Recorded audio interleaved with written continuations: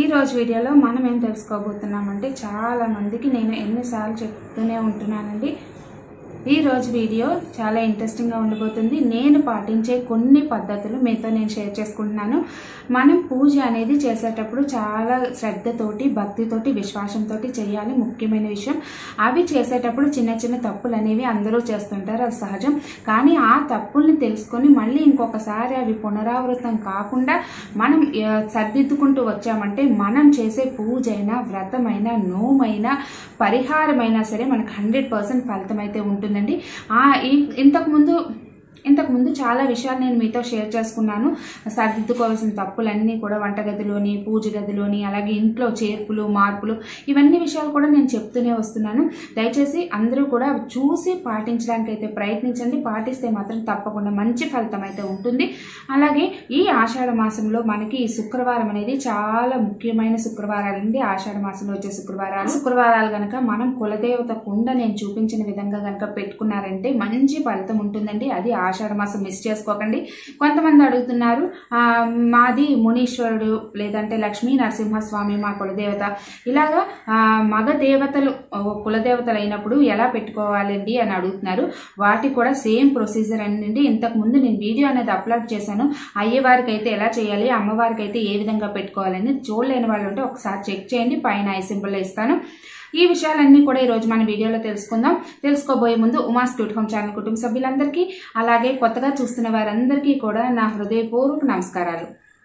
మొదటిసారి ఎవరైతే మన ఛానల్ చూస్తున్నారో దయచేసి సబ్స్క్రైబ్ చేసుకోండి అలాగే మర్చిపోకుండా పక్కన ఉన్న బెల్ ఐకాన్ యాక్టివేట్ చేసుకుని ఆల్ నోటిఫికేషన్ క్లిక్ చేసేసుకోండి. అలాగే ఈ రోజు పెళ్ళి రోజు మరి పుట్టినరోజు జరుపుకుంటున్న వారందరికీ నా హృదయపూర్వక శుభాకాంక్షలు. సరే ఇప్పుడు మనం లేట్ చేయకుండా వీడియోలోకి వెళ్ళిపోదాం.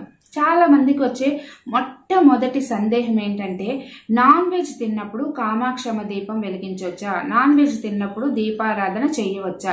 ఇది చాలా మందికి వచ్చే సందేహమేనండి. నేను దీని గురించి చాలా పరిశోధనలు అయితే చేశాను. చేసి అంద అందరు పండితులు చెప్పినవి విని చాలా అన్- మందిని కనుక్కున్న తర్వాత ఈ వివరణ అనేది మీకు ఇస్తున్నాను. నేను అంతకు ముందు పాటిస్తూ వస్తున్నది ఇప్పుడు మీతో నేను షేర్ చేసుకుంటాను. ఏంటంటే మందికి వచ్చే సందేహమేనండి ఇది. అయితే నాన్ వెజ్ తిన్నప్పుడు మనం కామాక్షమ దీపం అవనియండి దీపారాధన అనేది మనం చేయకూడదు. నాన్ వెజ్ తినక ముందు మనం ఎప్పుడు నాన్ వెజ్ వండుతాము? మామూలుగా అయితే వంట అనేది ఎప్పుడు స్టార్ట్ చేస్తాం? ఒక పది గంటలకి లేదా పదకొండు గంటలకి స్టార్ట్ చేస్తారు. అంతే కదా సర్వసాధారణంగా అలాంటప్పుడు మనం దీపారాధన ఎప్పుడు చేసుకుంటాం? ఉదయాన్నే ఆరు గంటలు లేదా ఏడు గంటల లోపల మన దీపారాధన అనేది మనం కంప్లీట్ అయిపోతుంది. ఎంత లేటుగా చేసుకున్న వాళ్ళైనా సరే దీపారాధన చేసిన తర్వాత టిఫిన్ చేసిన తర్వాత ఆ తర్వాత వంట ప్రోగ్రామ్కి అనేది వెళ్తారు. అంతే కదా? అలాంటప్పుడు మీరు ఈ రోజు నాన్ వెజ్ వండుతున్నారు అనుకున్నప్పుడు ఉదయాన్నే దీపారాధన చక్కగా చేసేసుకోండి. ఎలాంటి ప్రాబ్లము లేదు. సాయంత్రం దీపారాధన మాత్రం చేయకూడదు. అది మీరు మామూలు స్నానం చేసినా కూడా సాయంత్రం దీపారాధన చేయకండి. మళ్ళీ మరుసటి రోజు చక్కగా తలస్నానం చేసి అప్పుడు మనం దీపారాధన చేయాలి. ఈ దీపారాధన చేయొచ్చు అనగానే మళ్ళీ ఇంకో కొంతమందికి ఇంకో సందేహం. ఇల్లు త- తడిగుడ్డు పెట్టి తుడాలా అని చెప్పి. మనకి పూజ గది అనేది సపరేట్గా ఉన్నప్పుడు పూజ గది వరకు తుడుచుకోండి. అష్టమాట ఇప్పుడు కొంతమంది వారానికి ఒకసారి తింటారు కొంతమంది వారానికి రెండుసార్లు తింటారు. కొంతమంది రోజుకి ఇంట్లో నాన్ వెజ్ ఉండాలి. అలాంటప్పుడు రోజుకి నో తడిగుడ్డు పెట్టడం అంటే ఇంట్లో పిల్లలతోటి ఈ కరోనా టైంలో చాలా కష్టమైన పని కదండి. అందుకని పూజ గది వరకు మనం శుభ్రం చేసుకొని చక్కగా దీపారాధన అనేది చేసుకోవచ్చు. మీరు ఆ తర్వాత మీరు పనులు అనేవి చేసుకోవచ్చు. ఇదండి. అది కామాక్షమ దీపం అవనియండి లేదంటే దీపారాధన అనియండి కొంతమందికి ఇంకొక సందేహం. కామాక్షమ దీపం పెడితే నాన్ వెజ్ మానేయాలా అని అడుగుతున్నారు. అలాంటి నియమం ఏమీ లేదండి. కామాక్షమ దీపారాధన మనం ఎప్పుడు ఉదయం చేస్తాం కాబట్టి తర్వాత నాన్ వెజ్ నిరభ్యంతరంగా తినొచ్చు. దాంట్లో మాత్రం ఎలాంటి సందేహం పెట్టుకోకండి. ఇంకో కొంతమందికి సందేహం కామాక్షమ దీపం గురించి. కా- కామాక్షమ దీపం డైలీ పెట్టుకోవచ్చా? లేదంటే మంగళ శుక్రవారాలు మాత్రమే పెట్టుకోవాలని అలాగేమీ లేదండి. నేను ఇరవై సంవత్సరాల నుంచి మా ఇంట్లో నిత్యం కామాక్షమ దీపం నేను వెలిగిస్తూనే ఉన్నానండి. దానికి ఎలాంటి నియమాలు ప్రత్యేక నియమాలు అయితే లేదు. నాన్ వెజ్ తిన్నప్పుడు మాత్రం వెలిగించకూడదు. మిగతా టైంలో ఎప్పుడైనా సరే మనం కామాక్షమ దీపాన్ని వెలిగించుకోవచ్చు. అందులో ఎన్ని వత్తులు వేయాలి అని అడుగుతున్నారు. అందులో రెండు వత్తులు కలిపి ఒక వత్తి కింద చేసి వేయండి. నువ్వుల నూనె ఆవు నెయ్యి కొబ్బరి నూనె. మీకు ఏదైతే అది ఇష్టమైంది అందులో వేసుకోండి. అందులో చిటికెడు పసుపు చిన్న కర్- కర్పూరం అలాగే రెండు యాలకులు అనేవి మర్చిపోకుండా వేయండి. వేయడం వల్ల మన ఇల్లు అనేది అష్టైశ్వర్యాలతో తొలగుతూ ఉంటుంది. ఇవన్నీ చెప్పినవన్నీ ఒక రోజులోని రెండు రోజుల్లోని మనకు మార్పు వచ్చేదండి. ఏది కూడా మనం చేస్తూ ఉంటేనే అలా చేస్తూ క్రమక్రమంగా చేస్తూ ఉంటేనే మనకు మార్పు కనిపిస్తుంది. అంతేగాని మేడం నేను ఒకరోజు చేశాను మేడం. నేను ఒక శుక్రవారం వెలిగించాను. నాకు ఎలాంటి రిజల్ట్ రాలేదంటే ఎలా వస్తుందండి? మనం లేచిన మనం పుట్టిన వెంటనే పరిగెట్టేలేము డబ్బు సంపాదించేలేము ఏమి చేయలేము. మనం పుట్టిన తర్వాత లెగ లెగాలి కళ్ళు తెరవాలి కళ్ళు తెరిచిన తర్వాత పా బంగరాలి బంగరాల తర్వాత కూర్చోవాలి కూర్చున్న తర్వాత నించోవాలి నించున్న తర్వాత పరిగెట్టాలి పరిగెట్టిన తర్వాతే మనం మిగతా కార్యక్రమాలు అనేవి చేస్తాం. అంతే కదా? అలాంటప్పుడు మనం ఏది కూడా వెంటనే రిజల్ట్ వచ్చేది. అలాగని ఇప్పుడు పరిహారాలు అవి చెప్పినవన్నీ చేసేసి మేము కామ్గా కూర్చుంటాం మాకు అదే రిజల్ట్ వస్తుందంటే అది రాదు.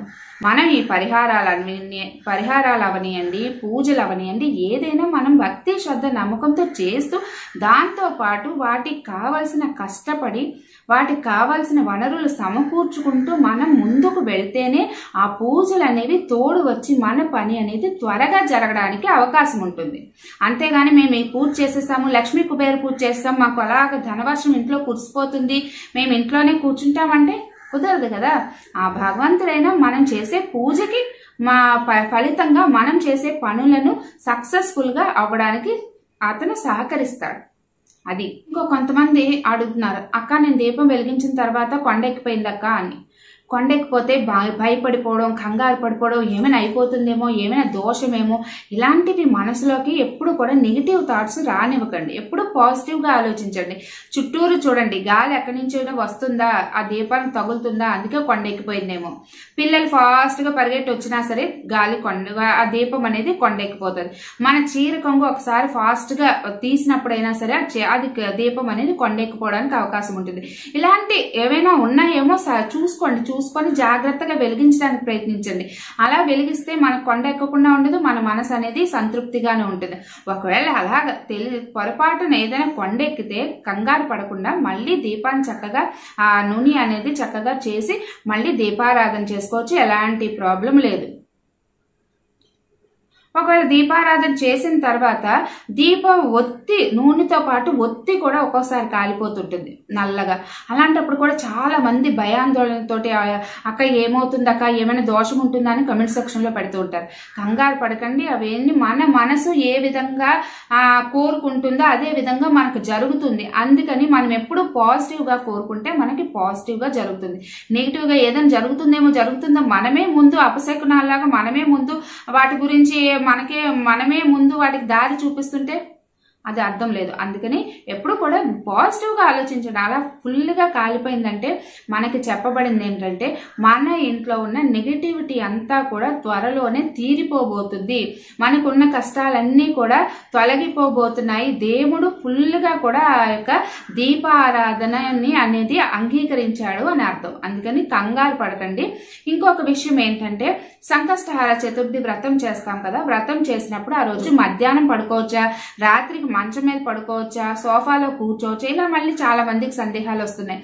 ఇవన్నీ కారణం మనకి పెద్దవాళ్ళు మనతో లేకపోవడమేనండి. వాళ్ళే కనుక మన అత్తో అమ్మో నానమ్మో అమ్మమ్మో ఎవరో ఒకరు మనం ఇప్పుడు వాళ్ళతో పాటు మనం పెరిగి వాళ్ళతో వాళ్ళు మనతో పాటు ఉన్నారనుకోండి వాళ్ళే ఇవన్నీ విషయాలు చెప్పేవారు. కానీ ఇప్పుడున్న జనరేషన్స్కి ఇప్పుడున్న సిచ్యువేషన్స్కి ఎవ్వరూ మన దగ్గర ఉండట్లేదు. అందరూ కూడా న్యూక్లియర్ ఫ్యామిలీ లాగా తల్లి తండ్రి ఇద్దరు పిల్లలు అందరితోటే సరిపెట్టేస్తున్నారు. కాబట్టి ఇవన్నీ తెలియకపోవడానికి సందేహాలు రావడానికి సహజమైన సహజంగా జరుగుతూనే ఉంటుంది. అందుకని ఏం చేస్తారంటే ఏ వ్రతమైనా సరే వ్రతం పూజ కాదండి. వ్రతం అంటే ఇప్పుడు వరలక్ష్మీదేవి వ్రతం వినాయక చవితి నెక్స్ట్ లక్ష్మీ కుబేర పూజ లేదంటే మనం చాలా పూజలనే చేస్తున్నాం. త్రినాస్వామి పూజ ఏ పూజ అయినా వ్రతమైనా అంటే పూజలు అంటే నిత్య పూజ కాదండి. మన ప్రత్యేకం చేసే పూజలు ఏకాదశి పూజ ఉపవాసాలు వైకుంఠ ఏకాదశి ఉపవాసం కార్తీక మాసంలో సోమవారాలు ఉపవాసం సోమవార వ్రతాలు ఇలా చాలా మనకు వస్తుంటాయి కదా. అలాంటప్పుడు మనం ఏం చేయాలి? చేయాలంటే ఆ వ్రత నియమాలు అనేవి తప్పకుండా పాటించాలండి. ఆ రోజు మన ఇంట్లో ఉన్న భగవంతుడి పీట వేసి ఎప్పుడైతే కలసం పెట్టి మనం ప్రతిష్ఠించుకుంటామో భగవంతుడు మనతోనే మన ఇంట్లోనే ఉన్నాడు అని అర్థం. అలాంటప్పుడు భగవంతుడు పైన కూర్చొని ఉన్నప్పుడు మనం కూడా సోఫాలో కూర్చుంటే అర్థం లేదు కదా. అందుకని భగవంతుడు వ్రతం అయినప్పుడు ఆ కిందన కూర్చుంటే వీలైన వాళ్ళు కూర్చోండి. లేదు మాకు ముడుకులు నొప్పి మేము కూర్చోలేము కిందనది మేము కూర్చోలేము మాకు ప్రాబ్లమ్ అనుకున్న వాళ్ళు అది అవాయిడ్ చేసేయండి. కానీ కూర్చోగలము మేము కిందన కూర్చోగలము అనుకున్న వాళ్ళు చక్కగా కిందన కూర్చోండి భోజనం చేయండి కిందనే అన్నీ చేయండి. ఆ తర్వాత పడుకోవడం విషయానికి వస్తే మధ్యాహ్నం పూట వ్రతం చేసేటప్పుడు పడుకోకూడదండి. ఆ రోజు సాయంత్రం రాత్రి మనం అంతా ముగించుకున్న తర్వాత నేలపైనే పడుకోవాలి. మంచం మీద పడుకోకూడదు. మేము కింద నేల మీద పడుకోలేము అనుకున్న వాళ్ళు బొంత వేసుకోండి లేదంటే పరుపు వేసుకోండి ఏదైనా తిక్కుగా ఉన్నది వేసుకోండి. ఇంక మరీ కొంతమంది అనారోగ్య సమస్యల ద్వారా మేము అస్సలు కిందన పడుకోలేము అనుకున్న వాళ్ళకి ఎక్స్క్యూజ్ వాళ్ళు అవాయిడ్ చేయొచ్చు. ఎప్పుడు కూడా పిల్లలకి పెద్దలకి అలాగే ముసలి వాళ్ళకి చేయలే అనారోగ్యంగా ఉన్న వాళ్ళకి దేవుడు ఎప్పుడు కూడా పెద్ద పెద్ద నియమాలు అయితే పెట్టడు. అవన్నీ కూడా మనము అవాయిడ్ చేసుకుంటూ చేసుకోవచ్చు. ఆ విధంగా మీరు చేయడానికైతే ప్రయత్నించండి. ఇంకో విషయం ఏంటంటే చాలా మందికి ఒక సందేహం. దృష్టి కోసం నేను బయటనే ఉప్పు ఉప్పు మూటతో పరిహారాలు అనేవి చెప్పాను అవి కట్టమని చెప్పాను. ఎప్పుడు కూడా ఉప్పు మూటతో పరిహారాలు దృష్టి పరిహారాలు ఎప్పుడు సింహద్వారానికి పైన సింహద్వారానికి బయట వైపు అని అంటే మనం ఇంట్లో ప్రవేశిస్తున్నప్పుడు బయట వైపు పైన మధ్యలో కట్టండి. అది గుర్తుపెట్టుకోండి. అలాగే ఇంకొక విషయం ఏంటంటే మనం ఆ యొక్క ఉప్పు మూటని ఇప్పుడు ఎండాకాలం అయితే ఏమీ అవదు ఉప్పు. అది ఎన్ని రోజులైనా అలాగే ఉంచేయచ్చు. ఇప్పుడు ఈ వర్షాకాలం వస్తుంది చలికాలం వస్తుంది కాబట్టి ఉప్పు చెమ్మ పడుతుంది. చెమ్మ పట్టినప్పుడు అది వాటర్ లాగా మారిపోతుంది. అలాంటి టైంలో దాన్ని మార్చేయండి. అలాంటప్పుడు ఈ వర్షాకాలం చలికాలం సమయంలో నెలకు ఒకసారి మన అమావాస్య అమావాస్య కట్టుకుంటే సరిపోతుంది. ఇంకొక విషయం మనం గుర్తుపెట్టుకోవాల్సింది మనం ద్వారబంధం దగ్గర నేను చెప్పాను ఉప్పు దీప ప్రమిదల్లో వేసి దాని మీద నిమ్మకాయ వేసి పెట్టమన్నాను అలాగే మిరియాలు లవంగాలు పెట్టి పెట్టమన్నాను చాలా పరిహారాలు చెప్పాను. ఎప్పుడు కూడా మనం దృష్టికి అండ్ బయట పెట్టిన పరిహారాలు అవనేయండి బయట కడతాం కదా నిమ్మకాయ పచ్చిమిరపకాయలు ఇవన్నీ పెట్టి కడతాం కదా అవైనా సరే డైరెక్ట్గా చేతితో తాకకండి. ఒక కవర్ అనేది చేతికి వేసేసుకోండి. వేసుకొని దాన్ని ఎలా తీసి దాన్ని ఎలా బోర్లించి అక్కడ పెట్టేయండి. అప్పుడు ఆ కవర్ను కట్టేసి మనం ఎవరు తొక్కని చోటో లేదంటే పారే నీటిలోనో వేరే ఓపెన్ ప్లేసెస్ ఉంటాయి కదా అక్కడైనా వేసేయండి ఎవరు తొక్కని ప్లేస్లో. అంతేగాని మీరు మళ్ళీ చేత్తో ముట్టుకుంటే మళ్ళీ ఆ నెగిటివిటీ అంతా మనకే వస్తుంది. ఇవన్నీ నేను పాటించేవి. మీకు చెప్పడానికి ఆ టైం అంతవరకే ఉంటుంది కాబట్టి నేను ఇవన్నీ క్లారిటీగా మీతో నేను డిస్కస్ చేయలేకపోతున్నాను అనమాట లెంత్ ఎక్కువగా ఉంది లెంత్ ఎక్కువగా ఉంది అంటున్నారు. నేను మళ్ళీ కమెంట్ సెక్షన్లో డౌట్స్ అడుగుతున్నారు కాబట్టి నేను ఇంత క్లారిటీగా అయితే చెప్పడానికైతే ఆ కారణం అదేనండి. ఆ విధంగా చేయండి. కొంతమంది అడుగుతున్నారు అక్క మేము ఫ్లాట్స్లో ఉంటాము అపార్ట్మెంట్స్లో ఉంటాము మాకు బయట పడేయడానికి వీలు ఉండదు మేము ఇంట్లో ఉన్న డస్ట్బిన్లో పడేయొచ్చా బయట దిష్టి పెట్టిన అంటే దిష్టి ఎందుకు పెడతాము? బయట ఉన్న నెగిటివ్ ఎనర్జీని మన ఇంట్లో ఉన్న నెగిటివ్ ఎనర్జీని అవి అట్రాక్ట్ చేసి అవి మనకి మంచి పాజిటివ్ అనేది మనకి ఇంట్లో ప్రసరింపజేస్తుంది అంతే కదా? అలాంటప్పుడు నెగిటివిటీ ఉన్న వాటిని మళ్ళీ బయట ఉన్న వాటిని లోపల తీసుకొచ్చి మళ్ళీ డస్ట్బిన్లో పడేయడం అనేది ఎంతవరకు సమంజసం? మళ్ళీ మనం మళ్ళీ మన చేతులతోనే నెగిటివిటీని ఇంట్లోకి తీసుకొస్తున్నప్పుడు పెట్టి ప్రయోజనం ఉండదు కదా. అందుకని మీరు ఏం చేస్తారంటే అవి నేను చెప్పిన విధంగా కవర్ వేసుకొని కవర్లోకి తీసేసి మూట కట్టేసి బయటని ఒక పక్కన పెట్టేయండి. ఎప్పుడైతే మీరు కిందకి వెళ్ళడమో లేదంటే డస్ట్బిన్ వాళ్ళు కలెక్ట్ చేసుకోవడానికి వస్తారో అప్- అప్పుడు ఆ డస్ట్బిన్లో పడేయండి. అంతేగాని మీరు మాత్రం ఇంట్లోకి మళ్ళీ పట్టుకెళ్ళకండి. ఇదండి ఈరోజు వీడియో. నేను ఈ విషయాలన్నీ మీతో ఇంత క్లారిటీగా చెప్పాలనుకున్నాను. ఎందుకంటే చాలా మందికి వీటి మీద సందేహం ఉంది కాబట్టి నేనైతే ఇవి క్లారిటీగా చెప్పాలనుకున్నాను. నేను కొన్ని సంవత్సరాలు బట్టి ఇదే విషయాలనే ఫాలో అవుతూ వస్తున్నాను. అందుకే నేను చేసే పూజ అయినా వ్రతం అయినా వెంటనే రిజల్ట్ వచ్చేదండి. ఏది కూడా వెంటనే రిజల్ట్ వచ్చేది.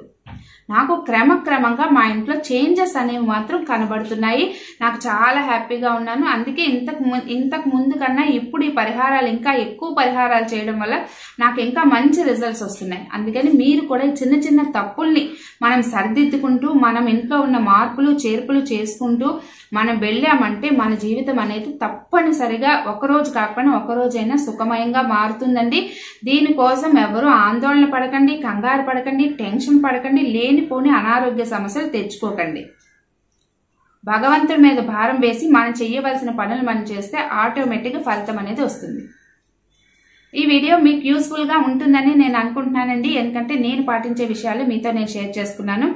ఈ వీడియో నచ్చితే కనుక తప్పకుండా మన ఛానల్కి ఒక లైక్ చేయండి. యూస్ఫుల్ అనిపిస్తే నలుగురికి షేర్ చేయండి. మళ్ళీ ఇంకొక మంచి వీడియోతో మీ ముందుకు వచ్చేస్తాను. అంతవరకు సెలవు. నేను మీ ఉమా. ధన్యవాదాలు. సభీ జన సుఖినో భవంతు.